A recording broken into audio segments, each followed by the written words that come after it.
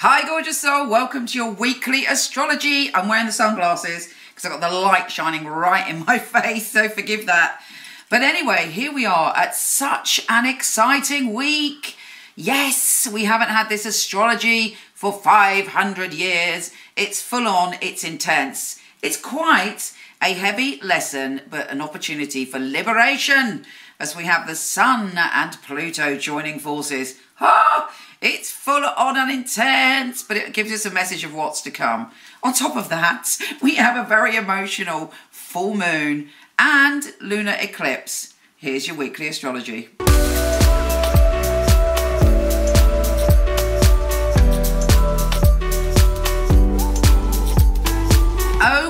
Gosh, Capricorn, this is it. This is where it all begins. This year is going to be one of the most powerful in your life and it kicks off right now. It's really important that you pay attention with what is going on for you, what you want, how you see yourself. How are you going to wield this magic wand that the universe is giving you? It for some of you it's going to be tough. If there's any resistance to change, you may have a tough week. If you're ready to change and you're determined and you're taking responsibility for your life, a gateway could open. Either way, it is an ending of the way things used to be and the start of a beginning of a brand new cycle. An intense, life changing, possibly more than one lifetime changing reality is coming your way. Let's first look at the full moon, although one might say it's the least of the worries. But the full moon is in your relationship zone and there is an eclipse so you're like, hmm, there's a revelations coming to you about all your intimate relationships, your one-to-one partnerships, the people that you relate to. You're going to know what your heart feels. You're going to know the truth of what it means connected to your all your intimate and romantic partnerships and who you are within that. There's a whole rebirth coming for you. Of course, the Saturn and Pluto conjunction in your sign, there are no words for how extreme an energy that is. You're going through a process this year where you are seeing the truth and they're gonna gonna be big changes in your life and hopefully you're feeling like right i'm prepared to take responsibility for my stuff i'm prepared to take responsibility to do the things i need to do to make this change happen you've had this vibe around you of, of, of pluto for a while so you've gone quite a long while. So you've gone through many changes uh, of who you are. So that Pluto energy should be quite familiar to you. There's probably been lots of changes and lots of shocks and not just lots of surprises you've had over the past few years.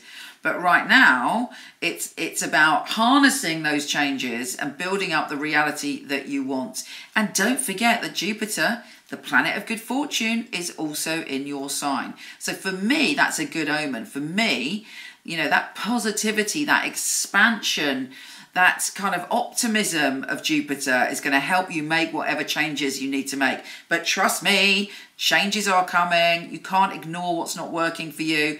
It is now time to let go of anything that's holding you back. It's your time to fly, but you're being pushed into it in quite a strong way. Amazing!